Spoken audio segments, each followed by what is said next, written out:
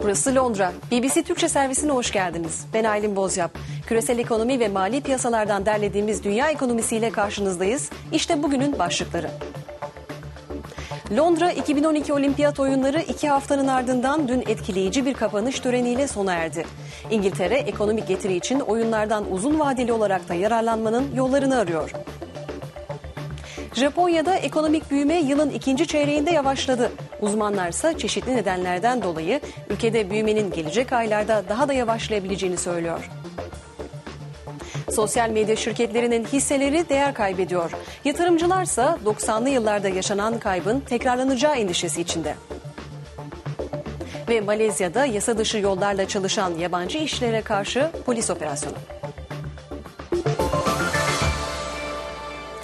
İki haftalık Londra 2012 Olimpiyat Oyunları dün sona erdi. Ekonomik olarak zor bir dönemden geçen İngiltere, oyunlardan uzun vadeli olarak da ekonomik getiri elde etmenin yollarını arıyor.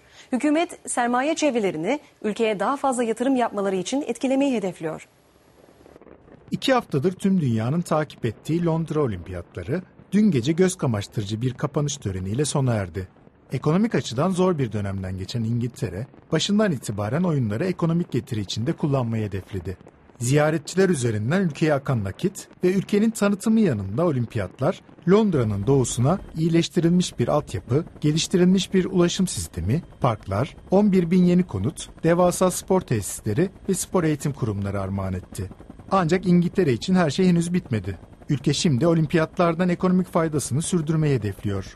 İngiltere, 2004 olimpiyatlarına ev sahipliği yapan Atina'da olduğu gibi olimpiyatlardan sonra bütün hikayenin bittiği bir duruma düşmek istemiyor.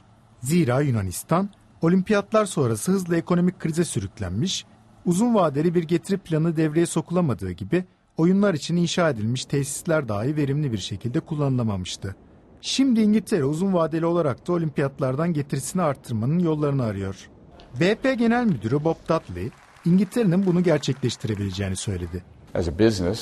İş çevreleri olarak her zaman planlı olmasa da birçok toplantı yaptık. Doğaçlama olarak düşünceleri, işle ilgili fikirleri paylaşma şansı bulduk. Son iki hafta içinde Londra'da olanlardan çok mutluyum. Eski hükümet danışmanlarından Andrew Hammond, İngiltere'nin olimpiyatlarla ilgili şimdi uzun vadeli bir ekonomi planına ihtiyacı olduğunu söylüyor.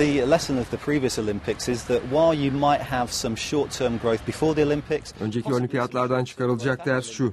Olimpiyatlardan önce kısa vadeli büyüme gerçekleştirirseniz, olimpiyatlardan sonra da muhtemelen kısa vadeli büyüme gerçekleştirirsiniz. Özel sektör, kamu ve üçüncü taraflar olarak oyunlardan sonra gerçekten bir araya gelmeniz gerek ve böylece harekete geçmek mümkün olacak. Britanya takımının başarısının aynasında bir Britanya ekonomi takımı kurabilirsiniz.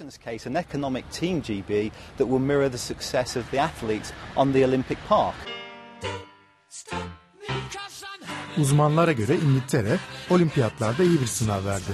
Ülke ekonomisine oyunların katkısı olsa da bu durum ülkenin resesyondan çıkmasını sağlamadı. İngiltere bundan sonra olimpiyatlar sonrası döneme bakacak ve dünya çapında elde ettiği ilgi ve beğeniyi uzun vadeli ekonomik getiri için sürdürmeye çalışacak. Sermaye çevrelerinin İngiltere'nin bu isteğine nasıl cevap vereceğini ise zaman gösterecek. Japonya'da ekonomik büyüme yılın ikinci çeyreğinde yavaşladı. Uzmanlar Avrupa'daki borçlanma krizi ve Çin'e yapılan ihracattaki azalmadan dolayı ekonomik büyümenin gelecek aylarda daha da yavaşlayabileceğini söylüyor. Büyüme seviyelerini yeniden yükseltmek isteyen Japon hükümeti ise tüketimi arttırmakta zorlanıyor. Euro bölgesindeki borçlanma krizinin ihracata vurduğu darbe ve iç tüketimde hafifleme Japonya'da ekonomik büyümenin yılın ikinci çeyreğinde yavaşlamasına neden oldu. Gayri safi yurt içi hasıla geçtiğimiz 3 ayda %0,3 oranında arttı. Yılın ilk çeyreğinde bu artış %1 seviyesindeydi. Geçen senenin aynı dönemine oranlandığında ise ekonomi %1,4 büyümüş oldu. Uzmanlar küresel ekonominin içinde bulunduğu belirsizlik halinden dolayı Japonya'daki büyümenin gelecek aylarda daha da yavaşlayabileceği doğrultusunda uyarılarda bulunuyor. Japonya'nın ekonomisi yakın zamanda çeşitli nedenlerden dolayı büyük darbe almıştı. Yılın ilk çeyreğinde ekonomik büyüme o kadar kuvvetliydi ki hedef yüzde beş buçuk seviyesine çıkarıldı.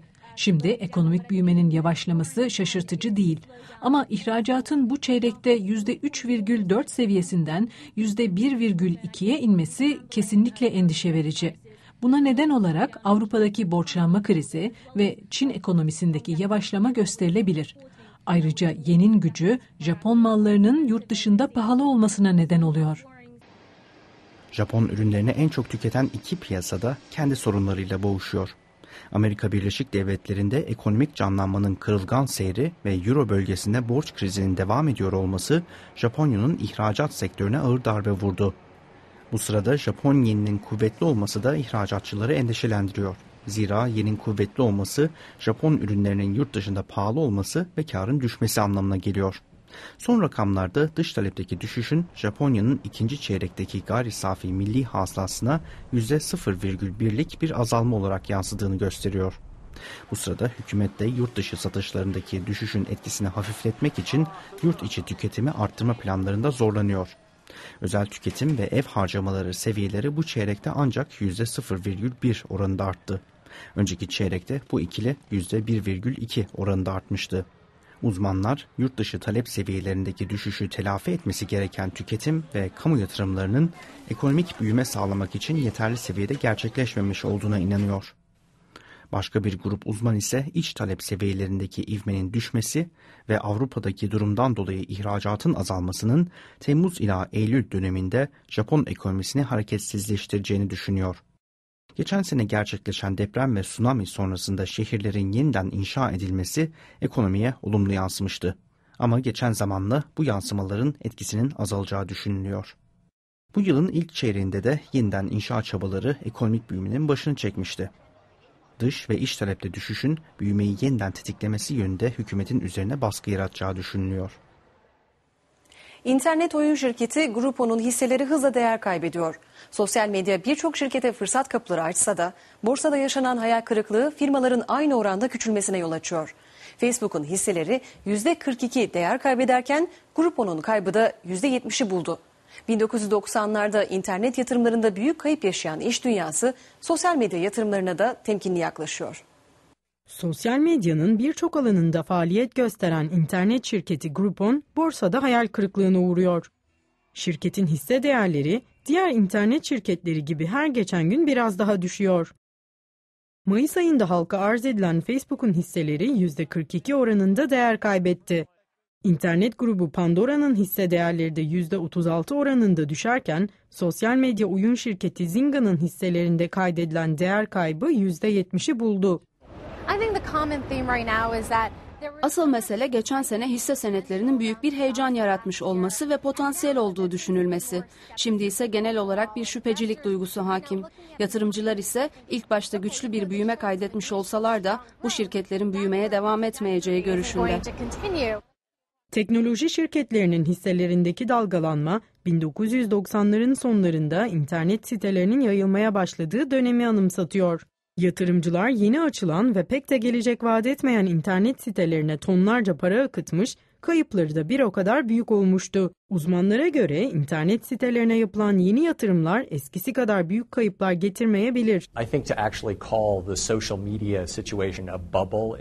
Sosyal medyayı internet siteleri gibi bir köpük olarak tanımlarsak, köpük ifadesinin kelime anlamına da ters düşen bir tanımlama yapmış oluruz.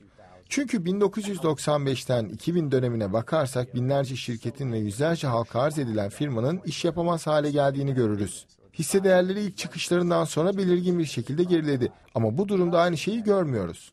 İnternet şirketleri büyümeleri için çeşitli fırsatlar tanıyor. Yatırımcılar da bu fırsatların peşinde koşuyor. Ancak geçmiş deneyimlerine bakınca internetin büyüttüğü bazı şirketlerin aynı oranda küçüldüğünü gören iş dünyası sosyal medya yatırımlarına biraz daha temkinli yaklaşıyor. Malezya'nın gelişen ekonomisinde Güney Asya ülkelerinden gelen ve sayısı on binleri bulan yabancı işçiler çok önemli bir yer tutuyor. Ancak ülkelerindeki ağır yaşam şartlarından kaçan bu işçilerin çoğu Malezya'da kaçak yollarla çalışıyor. Malezya polisi son yıllarda yasa dışı yollarla çalışan yabancı işçilere karşı operasyonlarını artırmış durumda. Sabah saat 2'de polisin kapıyı kırmasıyla uyandılar. Malezya polisi ülkede yasa dışı yollarla çalışan yabancı işçileri yakalamak için operasyon düzenliyor. Bu kişi polisten saklanmaya çalışıyordu. Polisin söylediğine göre çalışma izni yok. Bazılarının ayakkabılarını giymeye bile zamanı olmadı. Polis bir araya topladığı işçilerin çalışma izinleri olup olmadığını kontrol ediyor. Kaçmaya çalıştığı söylenen kişilerin bilekleri plastik kelepçeyle birbirine bağlanmış. Geçen yıl Malezya hükümeti kaçak olarak çalışan işçileri af çıkarmış ve çalışma izni alma olanağı yaratmıştı. Ancak işverenler sistemin doğru düzgün çalışmadığını söylüyor. Çıkarılan af Nisan ayında sona erdi. Ancak neredeyse 1 milyon işçi hala sisteme kayıt olabilmiş değil. Sama bu kişilerden biri. Endonezya'ya gönderilmekten korkuyor. 3 yıldır burada çalışıyor. Çalışma izni almaya çalıştım. Ancak kayıt parasını ödeyemedim. Hiçbir birikimim yok. Bu göçmenler geceyi nezarethanede geçirecekler. Malezya'daki yabancı işçiler suça karışmakla ve ücretleri düşürmekle suçlanıyor. Ancak bu işçiler birçok sektörün gelişmesinin altında yatan en önemli etkenlerden. Örneğin domuz yetiştiriciliği. Malezyalıların çoğu Müslüman ve domuzun pis olduğunu düşünüyorlar.